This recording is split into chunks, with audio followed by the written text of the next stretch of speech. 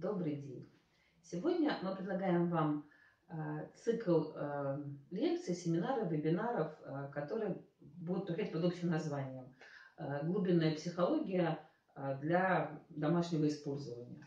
Почему мы об этом задумались? Ну, если раньше психоанализ достаточно, и сейчас он достаточно дорогое удовольствие, исследовать себя, свои процессы, динамики, паттерны, комплексы не всем даже по карману, и не у всех хватает времени, то э, нам на встречу пришли, как всегда, американские технологии.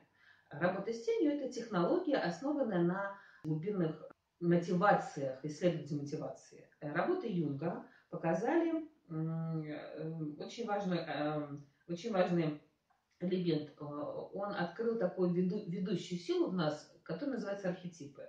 И вы знаете, это очень модная тема сейчас, такой тренд. Я знаю даже, что есть архетипические моделирования, архетипические прически – а цвета подбираются под архетипом. Но когда я пыталась выяснить у этих э, людей, что они понимают под архетипом, то, к сожалению, вот, эм, вот ну, навыка глубинной психологии э, не хватает. Поэтому если вы будете сейчас с таким словом, неплохо было бы просто знать, а что же под этим э, стоит. Мало того, мы будем исследовать ваши архетипы. А что такое вообще архетип? Это ведущая мотивационная сила в нас – Юнг все время говорил, чтобы какое-то явление было описано полностью, оно должно быть описано с четырех позиций. Так вот, а, мы пробуем описательная модель, которая находится в нашем использовании, модель работы с тенью, она работает в четырех базовых архетипах. Мы будем об этом говорить.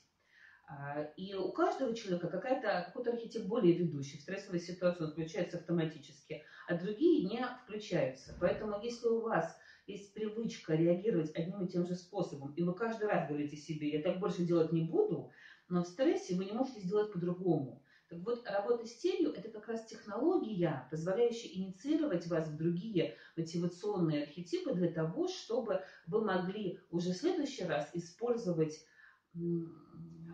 ваше бессознательное, я бы так сказала, был бы доступ открыт к тому, чтобы использовать другой, более эффективный способ реакции на ту или иную ситуацию.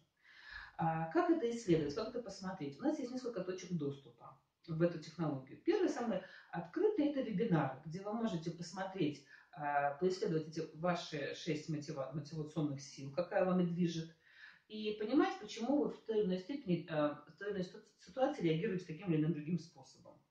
Я не буду их перечислять, пускай это останется, в общем, в вашем интересе тоже как бы тема мотивации. Видите, вот, может быть, кто-то захочет, это я включаю эту мотивацию, которая хочет идти за неизвестным.